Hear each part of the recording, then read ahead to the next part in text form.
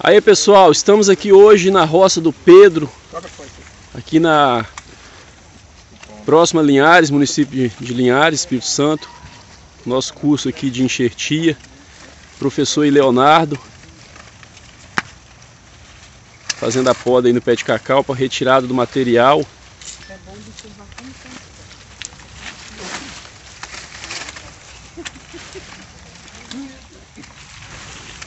Eu quero aprender também como cuidar, né? Mas aí só. Vários só, alunos só aqui, ó. Ah, hoje, hoje não tem tipo como. de poda não é. é esse aqui é poda de formação. Os amigos aqui já preparando as hastes tá aqui. Ainda é poda de formação, até o terceiro ano é poda de formação. Só que não vai dar tempo de eu mostrar para você uma poda de formação desde o início da base, porque a gente está no curso de enxertia. Porque o meu é de formação também. É, mas o Augustinho parece que está dando tá, um suporte para vocês lá, né? Porque, pra uhum. Vai ficar mais exposto ainda, mas precisa tirar aquele galho do meio. Se não tirar ele do meio, vai complicar. Dá uma limpezinha. Tá precisando da limpeza mesmo, hein? É, essa limpeza está sendo feita para poder tirar, fazer a poda do cacau, aproveitar o material que servir para enxertia, né? O que for, for bom para enxertia, a gente aproveita. O que não for bom, vai ser descartado de qualquer forma, né? Primeiro a gente tem que podar a planta, para não estragar o pé de cacau do produtor. Tem que saber podar, fazer a poda que tem que ser feita, para depois selecionar o que for preciso, o que for necessário para enxertir, for ideal, né? Para enxertar. Tá? O aqui vai ter que... O certo é fazer essa copa aqui em cima, porque aqui é área de beira-rio. É melhor formar essa copa aqui em cima. Formar ela aqui em cima porque senão vai complicar. Né? Formar aqui cima. Essa galha mais um dia aí. Essa galha aqui tá, tá sinistra, viu? Muito ruim isso aqui. Tirar ela fica muito aberta. Né? O dela tá muito baixo. Vamos deixar ela mais pra frente. Mais na frente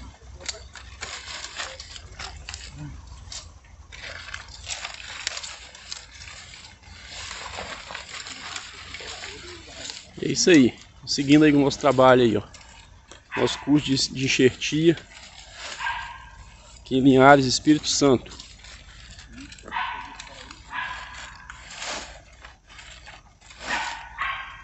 50, 60, né? Por que, que a gente tem que fazer mais alto aqui?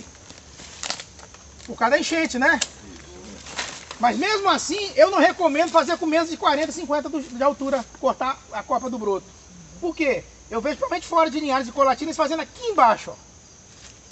Tem duas causas que eu acho ruins para isso. Dois problemas. Primeiro, translocação de seiva muito pequena, de cavalo cavaleiro. Muito pequena. Segundo, parece que o enxerto desenvolve mais devagar. Demora mais, porque a translocação de seiva sendo menor entre cavalo e cavaleiro, ele atrasa muito. E se perder, e se o enxerto não pegar, ele perdeu o broto. Como é que vai dar outro corte aqui? E por ficar muito perto do solo, não tem problema de fungo, de bicho? É porque esse tronco não cresce mais, que vai crescer a parte de cima. Parte de cima. Tá? Então a doenças fúngicas é mais propício também, que está mais em contato com o solo. solo Podidão, por exemplo, que é doença, é, é fungo de solo, a fitóftora, né? É, tá? Então aqui, ó, esse tronco está um pouquinho lesionado também, ó. Tá? Mas só uma casquinha superficial. Tomara que não tenha entrado no é, chileno. Tá? Mas não tem outro para substituir ele não, vai ser esse aqui mesmo. Tá? Xilema é? Xilema é a parte interna xilema. da planta. Tem xilema, floema, quanto mais você entra, o xilema é a parte mais de cima. Floema é mais Quanto mais você entra, você vai chegando no floema. São camadas, né? Translocação de seiva, né? É, transloca seiva, são camadas, né? Se tiver atingido, no caso, a planta fica... Aí a, a tendência dela é morrer. Se tiver chegando bloqueia... na corrente sanguínea da planta, é, a planta vai morrer. Né? É, nós temos vasos, né? A planta, a, a, a, são, são, são veias, a planta são vasos. Isso. É. Ela queimadura de pele. Isso aí. Eu comi gordura da picanha e é. não passaram. Então vamos lá, gente. Aqui eu tenho duas, duas alternativas aqui. Que tipo de enxertinho eu posso fazer nesse broto aqui? Eu tenho, eu, eu tenho dois tipos de enxerto que eu posso fazer aqui. Mas um tem uma condição. Um deles vai ter uma condição. Tá? A, a cunha tem que ser da, na mesma espessura. Se for fazer de topo em fenda, que usa o corte de cunha, é. eu tenho que escolher a espessura mais próxima dessa aqui, para tentar dar o máximo a meia fenda quase cheia. Acho que aí seria unilateral. Ou então uma, uma topo, é, da fase de topo unilateral. unilateral é. Das duas, uma. Se eu for usar fenda, eu tenho que usar uma, uma, um garfo bem próximo do diâmetro dele, para sobrar o menos possível de madeira, que na hora que eu amarrar não ficar exposta, não tá meio gasto, tá tá? Não ficar muito exposta. Esse aqui já tá no meio termo, né, gente? Ele tá em meio termo aqui já, ó, tá? Não vou achar uma medida É, compatível com ele. não. Não acho. Vai ter que ser fazer a meia fenda. E se eu for usar uma topo unilateral, né? Vou ter que usar ele aqui, ó. Né? Vamos lá. Vou pegar uma, uma, uma mais madura um pouquinho. Não muito madura, não muito verde. Pelo, pela, por, esse, por a característica do broto, né? A gente pode fazer isso aqui. Aí fica a critério do enxergador. Né? 3 a 4 tem que dar um desconto para a parte que eu vou fazer o corte, né? Será que eu posso usar borrachinha para dinheiro aqui ou vai ter que ser a cordinha plástica? Pode usar borrachinha. Dependendo do encaixe que ficar aqui, né? Mas por via das dúvidas, vamos usar o barbante? Pega o barbante lá para mim. Pegou meu canivete. Pega não. A borracha é pior. Muito pior do que essa borracha. Tá bacana. Nunca fui lá. então é.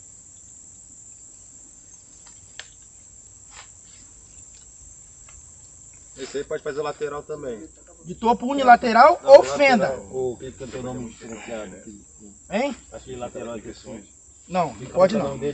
Alburno? Alburno. Sabe por que esse aqui não pode fazer alburno, Arthur? Porque eu tirei a copa. Não precisa fazer alburno. Só faz alburno quando você não tira a copa, tá? Se eu tirei a copa do broto, o broto eu posso tirar a copa. Por que, que eu posso tirar a copa do broto, pessoal? E da muda no campo não é aconselhável tirar a copa. Por que, que eu posso tirar do broto? Tem sombra? Porque tem problema de perder. Porque tem uma planta velha mantendo ele, né? Daqui a pouco ele não está sozinho, tá? Ele não está sozinho. Alburno só quando tem a. Eu tô com vontade de meter uma fenda aqui, tá? Eu tô com vontade de fazer uma fenda aqui. Muita vontade de fazer uma fendinha aqui, mas por via das dúvidas, vamos fazer um teste aqui com essa. Vou comer um pouco mais dessa madeira do lado, né, para ele ajustar mais mais fácil, melhorar o ajuste dele. Não pode botar a mão no corte, evitar botar a mão no corte. Coragem. No cara neste momento dá pra cá. Eu fiz um corte só. Por que, que eu fiz um corte só nesse broto? Eu falei que geralmente eu faço dois. Por que, que eu fiz um só? Casca tá molinha, né? Tá molinha, né? Se fosse uma casca mais dura, eu fazia dois. Porque se eu fizer dois aqui, numa casca molinha dessa, até prejudico. É, o efeito é contrário. Né? E agora é força, né, gente? Força Essa aí água, né? até sair água. Se a corda quebrar, porque a corda tá podre. Aí eu vou esticando, ó. Distanciando uma laçada da outra. Por que eu tenho que distanciar? Não vou fazer aquele nó de múmia, não. Uma em cima da outra, porque não vai dar aperto. Né? Corda e borracha só trabalha esticada. Senão ela não dá aperto.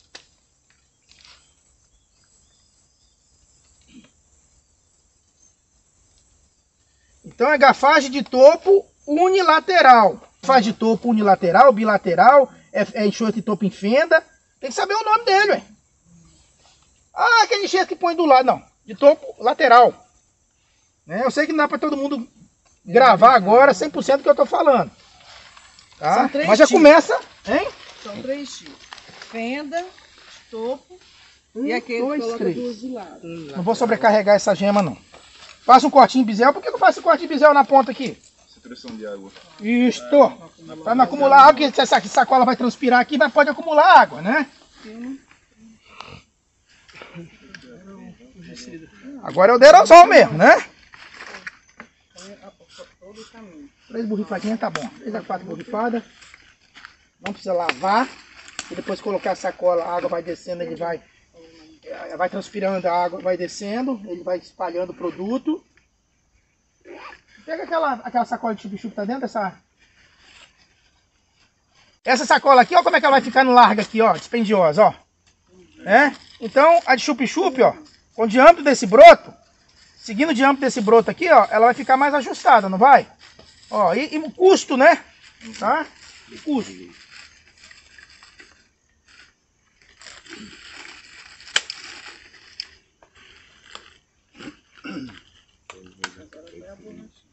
Hein?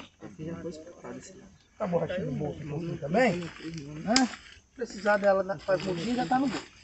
Depois eu vou dar uma sacola, fazer um kit de cada participante, botar dentro da sacola grande dessa, sacola de chup-chup, borrachinha, pra você ter seu kit depois. Pode ficar tranquilo. Depois eu acerto lá em cima, tá? Eu posso apertar aqui? Não, Por quê? senão acumula água. Isso aí. Quando, a- quando ela transpirar, a transpirar, a água tem que descer. Ela tem que fazer esse movimento, ó. Ó, ó. E deixar meio centímetro afastado da ponta do garfo. Tá? A Sara bate sol? Hoje tá nublado, não se sabe. Não bate sol direto nessa sacola, nesse broto, bate? Não, direto não. Não bate. Se tiver a influência do sol da tarde, o que, que eu tenho que fazer? Geralmente eu pego folha de cacau grande, ó. Duas folhas grandes do cacau, ó. Tá? Faça isso aqui, ó. Ó.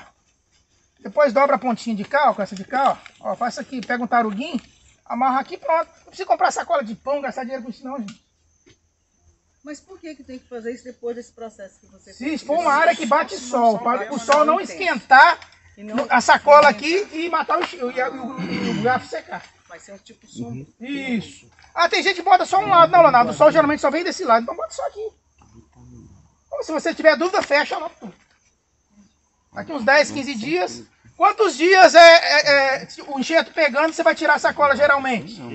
15 a 20 dias, a depender das condições climáticas da época. No frio demora mais. De broto também, né? Se não É. tiver os dois brotos ali, você não pode Isso. tirar.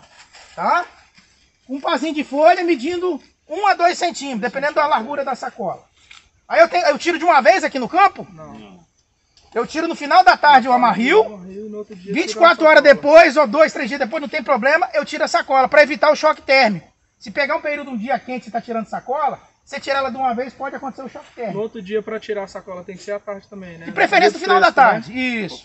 É, isso aí. No viveiro não tem muito isso, por quê? Porque tá no sombrite, aclimatado, não tem problema. Agora, campo aberto é complicado. Controlar. O enxerto é sensível, tá? Beleza?